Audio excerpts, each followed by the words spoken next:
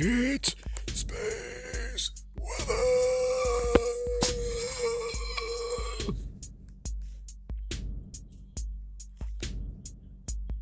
Check out the sun at 171 angstroms. Sunspot 2727 ain't going away anytime soon. And also, just since yesterday evening, we've got a new active and interesting region, which we will cover momentarily. It's not a sunspot, it's another plage. But check it out, it just comes out of nowhere. I'll let that play through one more time. It's got interesting implications to solar activity due to its polarity and location so far from the solar equator. Let's look at 304 angstroms.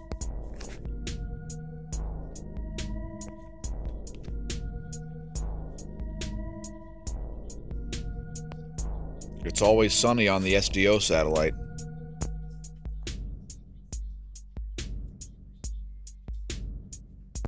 Check out the plage forming. There it is.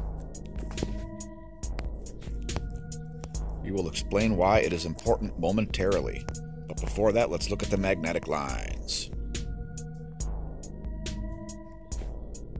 Weak coronal hole, number 50.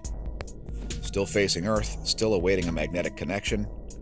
Perhaps we will not see one. I think there's a tug of war going on between the North and South Pole coronal holes. Keep an eye on that. Let's look at earthquakes. Last eight hours have been fairly quiet. Nothing over a 5. 4.3 in Russia. 4.8 in Japan. 4.8 in Indonesia. Greece getting hit with a 4.6 and a 4.9, as has been the case lately.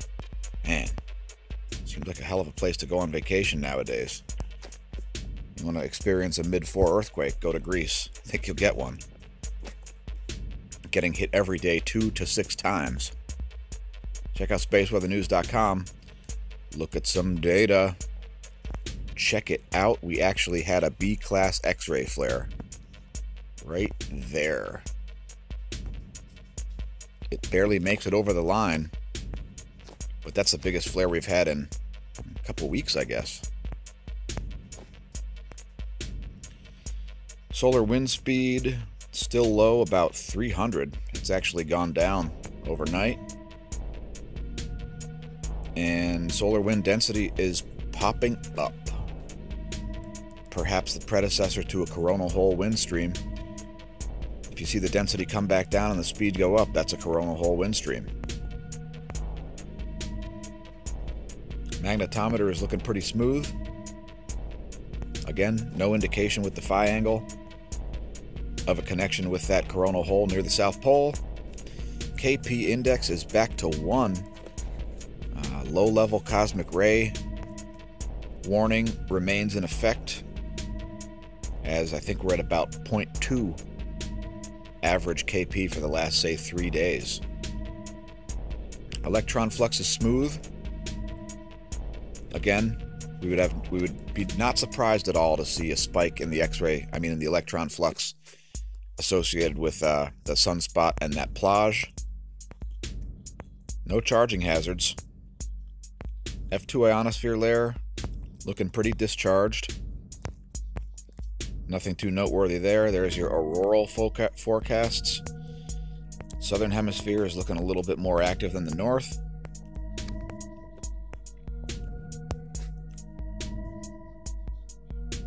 Now, let's look at solar ham. What's the situation with that plage? Well, haha. First of all, look at the polarity. You notice it's the opposite polarity of that sunspot. Even though that sunspot is north of the celestial, uh, the, the solar equator. Now, that plage has no umbra. It's not a sunspot. However, being that far from the equator, and having that kind of a concentration of magnetic fields, it could be one of the first indications of cycle 25. We'll leave links below to all the articles that we access here. Uh, Solar Ham talks about it.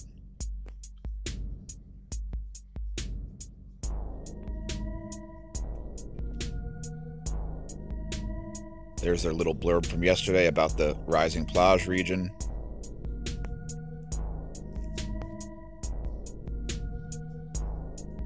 Now, let's look at something we don't normally look at the solar synoptic map. Now, every day, and this one just got updated since we did the prep for this video. Here's today's. It's only been up for about an hour. This one's done by Spencer. Can see coronal hole 49 attached to the North Pole. They don't even mention the plage, they just show a little filament there.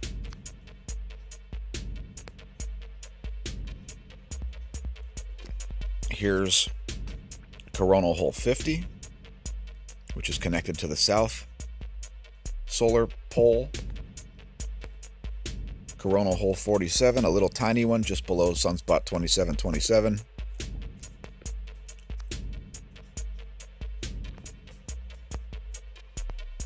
And this is done every day. It's available at Solar Ham, or you can go directly to the link, which we will include in the description. Here's the location of your planets.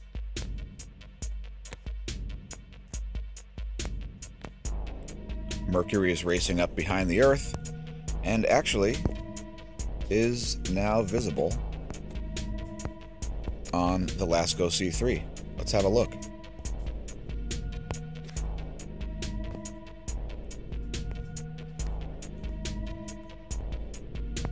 Mercury rising. Don't worry, Mercury's not teleporting.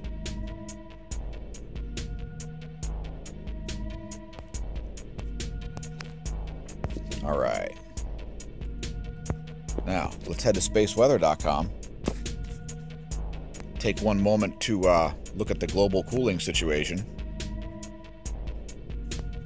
Space Weather has recently started to put up a new piece of data. If you scroll down on the left side, you see the Thermosphere Climate Index. It's been being measured since 1957, and it was very hot back then. That was actually the hottest that it's ever been measured. And now it's close to the coldest it's ever been measured.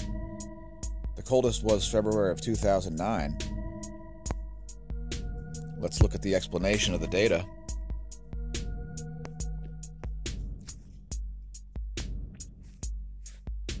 Most radio astronomers agree the Sun is entering one of the deepest solar minima of the space age. Sunspots have been absent for most of 2018, and the Sun's ultraviolet output has sharply dropped. So,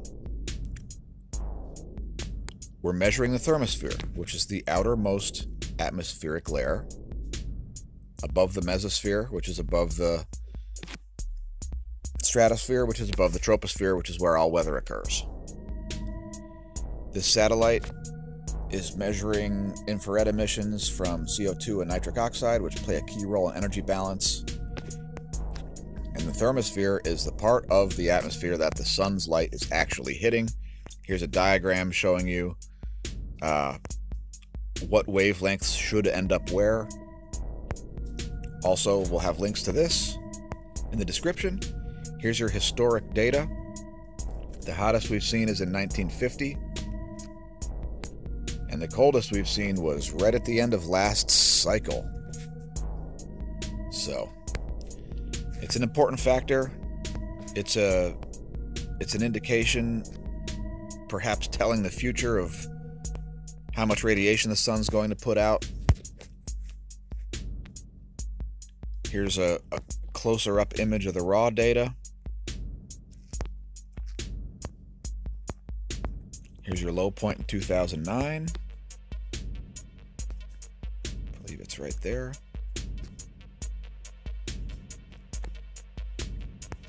And here's your current low point as we are in another solar minimum.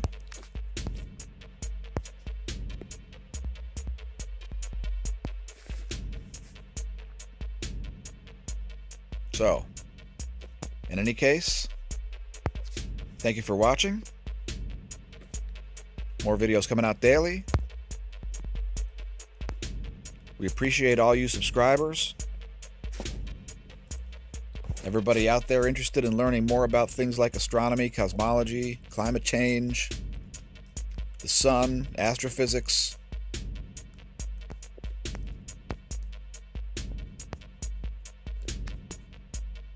When you're wondering about solar flares and X-ray flux coming out of Sunspot 27, don't drink. And if you drink, watch Sunspot 2727. It's exciting.